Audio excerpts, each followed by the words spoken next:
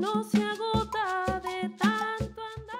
Es un ensamble musical formado por 17 mujeres que desde el año 2012 trabajan sobre el repertorio popular latinoamericano. La colmena tiene una sonoridad personal, propone un trabajo desde la voz y la percusión en un formato original y expresivo, donde el funcionamiento es horizontal y cooperativo. Pero si no cantara yo.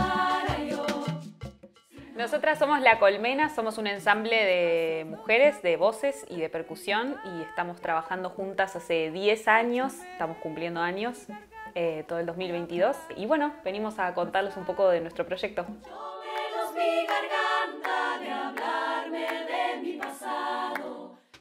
Originalmente eh, nos conocimos un grupo en un taller que hacíamos con Luna Monti, de ensamble vocal también, que duró un par de años. Después decidimos seguir cantando juntas, pero con una premisa que era eh, no tener eh, dirección, ¿no? Como que no haya jerarquía, sino que hubiera un trabajo horizontal donde todas pudiéramos como participar tanto de lo musical como de la producción. La idea es que entre todas podamos decidir todo.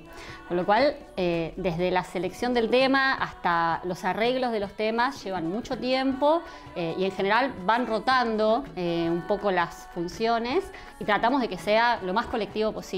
Lo interesante es que es un proceso en el cual todas compartimos algo de ese tema, desde la selección, quién lo compone, cómo es el arreglo musical, cómo es el arreglo de percusión.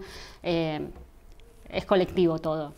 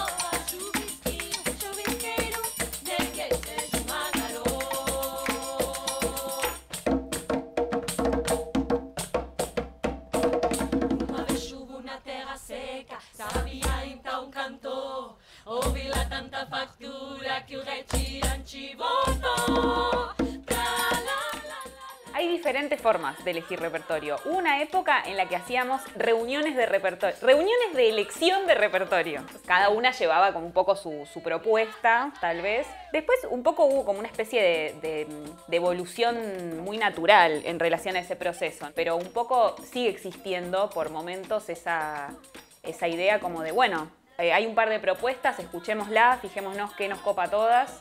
Eh, y en función de eso, bueno, van saliendo las que después vamos arreglando. El colectivo de mujeres La Colmena se organiza bajo un esquema de producción independiente, autogestivo, horizontal y con direcciones rotativas. Se presentó en destacados escenarios de Buenos Aires y el interior del país y llevaron sus shows a Uruguay y México.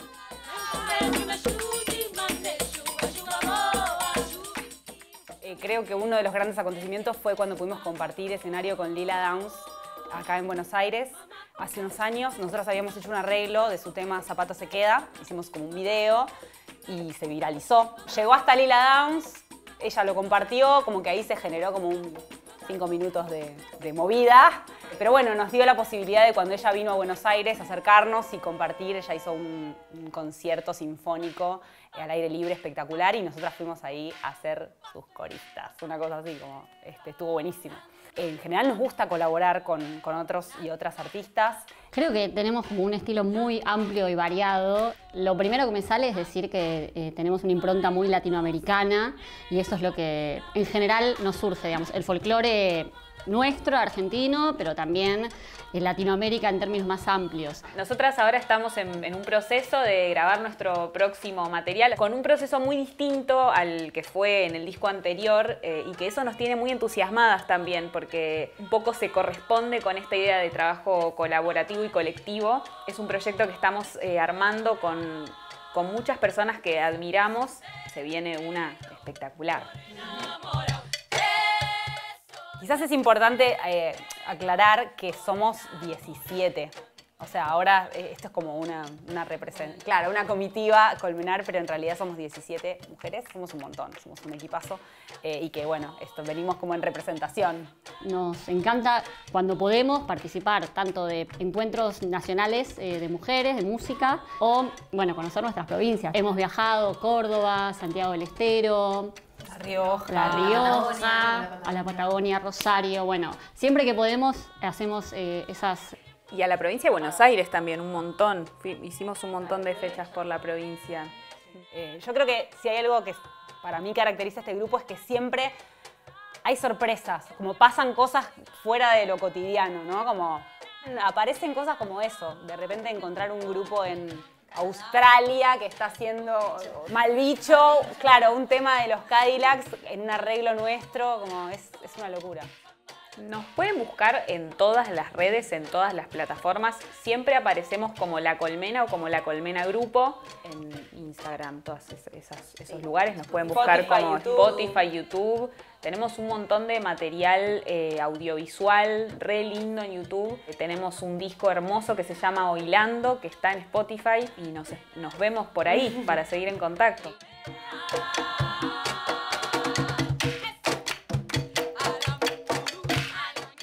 Y así llegamos al fin de este programa. Los esperamos la semana próxima para seguir descubriendo más historias del país que trabaja y produce. Como siempre, por la pantalla de la televisión pública argentina.